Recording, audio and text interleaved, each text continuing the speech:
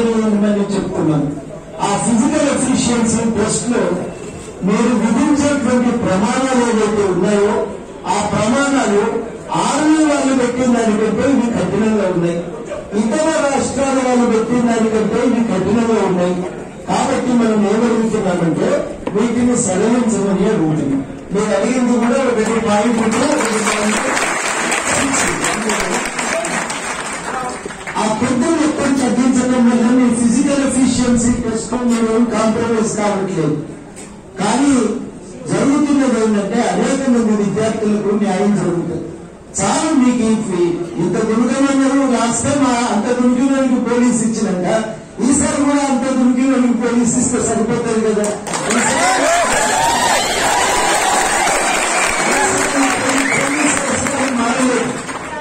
మీకు కావలసిన కొత్త గవర్నమెంట్ పని చేసేది లేదు. మన అవసరానికి పోయినసారి ఎంత ఉందో గంతే పెట్టమంటున్నాం. కానీ ఇవాళ కానీ ఇవాళ జరుగుతున్నది ఏంటంటే గవర్నమెంట్ ఇంత ముందుగా ఉండవలసిన అవసరం లేదు. మీరు అడిగిన ప్రమాణాలే పోయినసారి పెట్టిన ప్రమాణాలే అది అప్పుడు పోలీసులకు పనికి వచ్చినప్పుడు ఇప్పుడు ఎందుకు పనికి రావు పాటించి మీ అందరికీ కూడా ఉద్యోగాలు అవకాశం కల్పించారు ఇప్పుడు ఇక మీకు తెలిసి ఈ టెస్ట్లో మీకు క్లియరెన్స్ వస్తే మీరు పాస్ అయిపోతే వెంటనే మీకేమైనా అపాయింట్మెంట్ లెటర్ ఇస్తారా ఇయ్యదు మళ్ళీ మేము ఎగ్జామ్ రాయాలి. మీరు అడిగేది ఏంటంటే ఆ ఎగ్జామ్కి అవకాశం మీరు ఎందుకు మళ్ళీ చేసి మీ దృక్పథాన్ని అంగీకరించి మీరు చెప్తున్న డిమాండ్లను అంగీకరించాలని చెబుతున్నా కోర్టు వారు ఇచ్చిన కదా ఏడు మార్కులు కదా ఏడు కంపెనీ అన్నారు కంపెనీ దానికి మన కోర్టు చెప్పినట్టుగా కూడా మేము వాళ్ళు చెప్తే మా వీళ్ళు చెప్తే చెప్తామంటే గవర్నమెంట్ కోర్టు చెప్పుకోకపోతే మేము మిమ్మల్ని నుంచి చెప్పుకోవాలి అంటే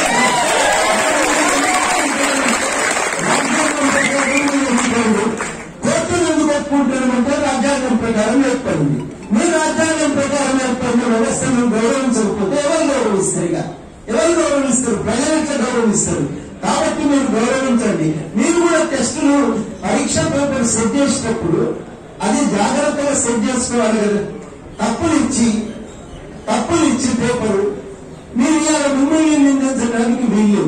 కోర్టు ఆలోచన చేసిన అన్ని విషయాలు. ఏడు మార్కులు కలపాలి అని తీర్పు ఇచ్చింది. తీర్పు ఇచ్చినాక ఆ తీర్పును తీర్పునైనా మన్నించదని అడుగుతున్నాం. ఆ కోర్టు దాకా పోకముందే ఈ పని గవర్నమెంట్ చేస్తుంటే బాగుండేది. ఇప్పటిదాకా ఇంకా ఆగటం చాలా అన్యాయం. ఇవాళ మేము ఇంకొక మాట కూడా ఏమడుగుతున్నామంటే ఈ ఫిజికల్ టెస్ట్ ఎఫిషియన్సీ టెస్ట్ కూడా మీరు పోయినసారి ఏం పెట్టిందో గవే ప్రమాణాలు పెట్టాలి అందరికీ కూడా అవకాశం ఇవ్వాలి. ఇప్పుడు మన వాళ్ళందరూ ఏమంటున్నారంటే ఇప్పుడు మళ్ళీ దుంకాలి మళ్ళీ షార్ట్ పుట్ వేయాలంటే కాదు.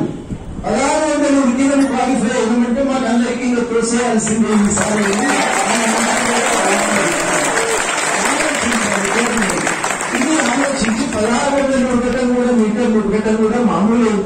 మంచి ఫిజికల్ ఎఫిషియన్సీ టెస్టే ఒక భాగంలో కూడా ఉడికితే ఉద్యోగాలు ఇచ్చేది ఎవరి బాగా ఉడికితే వాళ్ళకి ఉద్యోగాలు ఇచ్చేది కాబట్టి ఆ ఎఫిషియన్సీ టెస్ట్కు ఈ అవకాశం కల్పించమని చెప్పి డిమాండ్ చేస్తున్నాం. ఇది దున్నపోతు మీద వాడబడ్డట్టే మొత్తం అంటే మొట్టమొదటిసారి మీరు ఇంత సంఖ్యలో ఇక్కడికి వచ్చింది. అందరూ ఒక తాటి మీదకి వచ్చింది. ఒకటి మిమ్మల్ని అందరినీ కూడా నేను కోరేది ఏంటంటే మీకు ఎవరెవరికి ఏం ఆలోచన ఉందా ఈ ఒక్క డిమాండ్ల విషయంలో మాత్రం మీరు కలిసి ఉండాలి. కలిసి కొట్లాడాలి. మీరు ముందు ఉరికితే మేము వెనక నడిచినోళ్ళమే కానీ మేము మీతో మీకంటే ముందు ఊరికి దీని నుంచి ఏదో లాభ పొందపడాలనేటువంటి ఆలోచన ఉన్న వాళ్ళం కాదు. మీకు న్యాయం జరగాలని గవర్నమెంట్ వెంటనే వినాలి? ఇంకా ఇక్కడికి కూడా వినకపోతే ఇక్కడికి కూడా వినకపోతే కార్యాచరణ ఎవరిస్తారు మేము ఇయ్యం మీరు ఇస్తారు వీళ్ళు ఇస్తారు. మేము మీ ముందు దానికి సంపూర్ణ